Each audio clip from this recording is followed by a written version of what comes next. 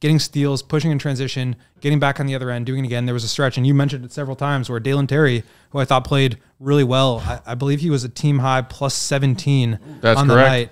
the night. Um, just felt like he really generated a ton of those opportunities. Only ended up with two steals, but when you're just putting the team in positions to get up and down the floor, I think it makes a world of difference because we know when this team stagnates, they have a hard time scoring. But when they can sprinkle in some fast break stuff and then the ball starts moving a little bit, they just look like a different team.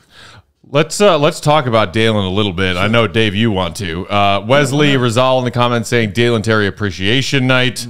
Um, Cole Krug saying Dalen provides so much out there. Uh, there there were a few more out there uh, showing love to Dalen.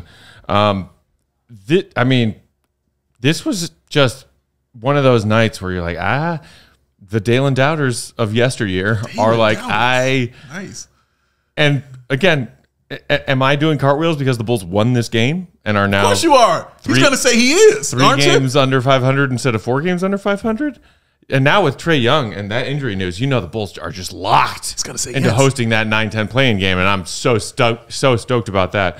No, I, No! I, as I expressed on one of our recent shows, I'm using these final 25 games to look at the potential growth of some of the younger guys on this team. Sure.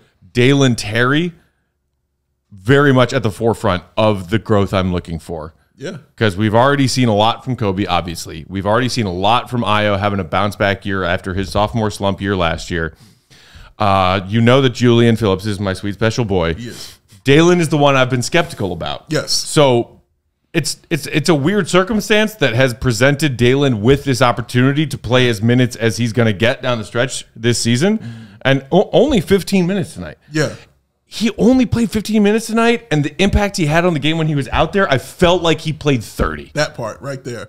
Well, you know, I talk about this a lot. Um, and to you too, I talk about it, the rhythm of the game. But mostly me. Yeah. the rhythm of the game. Um, it doesn't matter certain times if you make the shot or miss the shot, as long as you got the rhythm right uh, of the game. Because basketball has a way of rewarding you if you're playing it the right way, if you're doing it and you're doing it correctly. And there were several plays that Dalen Terry wasn't. It wasn't about the shot that he missed, but it was just the rhythm of it and the rhythm of the game, going and getting those loose balls. Uh, and those 50-50 balls. One of them he got called for a foul on. I didn't think was a foul. I believe it was on Brandon Ingram or Valanciunas or mm-hmm. one of those Yeah. guys. oh, yeah, that BS loose ball foul. Yes, Yeah. correct, correct. But the rhythm of the the way he was doing it, even when he went up for the layup, just how he went up for it and he missed it, and I was like, oh, that was a beautiful play though. What he did, and they still got rewarded on that because that ball started playing ping pong, mm-hmm. and they couldn't score, and then the Bulls didn't score, and they didn't score, and the Bulls took it from them and went down and scored. So you could be rewarded if you're just doing it kind of the right way and within the rhythm and the confines of the game.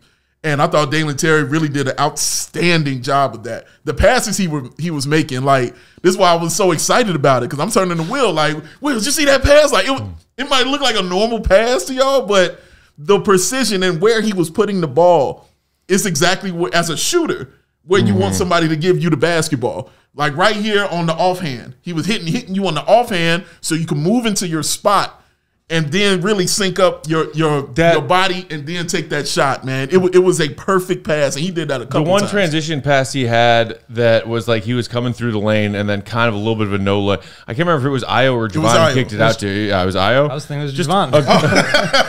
It was- I'm talking about that first. Whichever- it was one to it Ayo. I guess he did it twice. Yeah. He did. No, he did because he did one to Ayo when he was on the elbow. He did one to Jevon also. There was on- one on where he was elbow. cutting from the weak side wing into the middle and Right. he hit Jevon just right into his offhand pocket Mm-hmm. where he could get into it. And as we've talked about with like Dalen, I mean, dating back to Summer League this year, I really like some of the tools that he has. He just needs to be in a position to unlock them.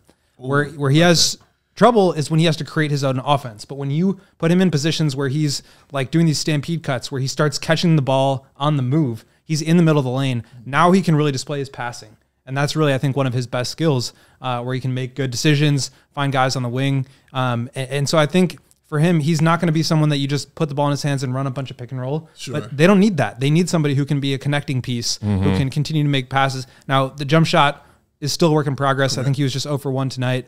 Um, he still needs to be able to get to the rim and finish a little bit better. Yes. He, he had the one run out layup um, or dunk maybe that was his one basket. yes. But Yeah. Steal, you're right. um, just within the half court, I think there's still a lot of room for him to grow. But when you are getting as many deflections and steals and putting your team in transition and making the extra pass and connecting uh, the ball from side to side, it just there's a lot to like there. It just needs to be in the right setting for him to really do well. No, absolutely right, and and also just his aggressiveness when the ball is up and he, you know, he's going to the bucket to try to get that rebound. Right. like he turns every single rebound into a 50-50 ball. One that just might look like it's an obvious rebound for the other team, he immediately turns it into a 50-50 ball. And he had a jump ball uh, situation where he was going at it. I can't remember if it was again Valanciunas or Ingram, but somebody who was bigger than him. so it is my point. But he's in there scrapping with that player, trying to get that basketball from him, man. Like playing that way, you will always be rewarded some kind of way when you're playing that kind of way and you're playing that kind of basketball. And the other thing is when you, it's like kind of hard to see when you're watching him every day. But when you take a look back at what he looked like physically when he got Yeah, drafted to yeah. now, he has put on a ton of muscle. He's gained a ton of weight. He had four fouls, and I think that's going to be an area where he needs to kind of pick his spots a little bit more. Maybe that results in, you know, you, you got to pull it back a little bit. Maybe that doesn't result in as many steals and blocks and things like that. Um, but that'll keep him on the floor longer. But just the ability to, one, you see the work ethic yeah. where he's really putting in time and effort into the weight room to to get his body in position to be able to now guard those bigger guys. And I think that's a really big key. Obviously, Patrick Williams now out for the season. They need big wings to be able to guard up. And I think Dalen's going to have a real opportunity here to prove he can do that. Uh, Paul Williams giving a shout out to not only Dalen but the entire bench, saying bench mob played well today, much needed boost. Colette saying more like Dalen scary. Huh? Geo saying Dalen showing a lot of promising signs. Fingers crossed his shot improves. Gabriel saying that dunk attempt was good from Dalen Terry. Yes, I forgot about Uh, yes, yeah. that was awesome. I loved every second of that. That's how you do it. Forget the layup. I don't care if you miss, man. He went up so strong and tried to get the finish or the foul. Yeah. And because the refs suck, they didn't give him the foul, but it didn't lead to a, to a basket for the other team. Right. The Bulls still got the ball back. Because again, when you're playing in that rhythm and playing that kind of right way, you will be rewarded. The basketball guys will reward you. That's how it happens. Uh, yeah. Uh, also, shout out to Jelly who threw us a five dollars super chat. Uh, because we're on the topic of Dalen, we'll just get to it now. Saying I didn't know it was possible to kick Dalen's frenetic energy into another gear, but here we are. Good lord, plus minus plus seventeen, and I think like that's the the crazy part of it is you know you, you pointed out he he missed the only three he took tonight. Will he was one of four overall from the field tonight but he was, as Jelly just pointed out, a plus 17 in 15 minutes off the bench. Hmm. And that is kind of like, I feel like tonight was a just like the perfect microcosm of who Bulls fans want Dalen Terry to be able to be. Not just this season, but in seasons to come if he sticks around, which is the guy who is not going to be one of your primary scoring threats on any given night, but somebody who can play defense, make key plays on the defensive end that lead to offense, and then also has the abilities in transition as, as someone with solid court vision and great passing and playmaking abilities to generate some easy buckets for for himself and or more primarily for his teammates. Because that's what he did tonight. He took four shots. He had two points and he was a plus 17 off the bench in 15 minutes. When as someone else pointed out uh, I, I think i can't remember who in in the comments recently like the bulls bench dominated tonight and they dominated despite being outscored by the pelicans bench but everyone other than Terry Taylor off the Bulls bench tonight was in the plus column, and everyone in the Pelicans bench was double digit in the minus. Mm, mm. And I feel like D- Dalen Terry deserves 97% of the credit for that. 97.5. But like just the way that Dalen play, I, I like the fact that maybe will some we of this. about basketball for a second. No, no, maybe maybe th- some of this was definitely out of necessity because you don't have you know your wings, your big guys there. But I do like the trust that Billy Donovan put in him because I kept saying they had a funky lineup out there with him basically running the point. And always, obviously, I feel like that's where he's at his best is when he's handling the basketball and distributing. And the fact Billy left him out there because it worked, you know what I mean? And everybody was actually touching the ball. Finished with what, 29 assists?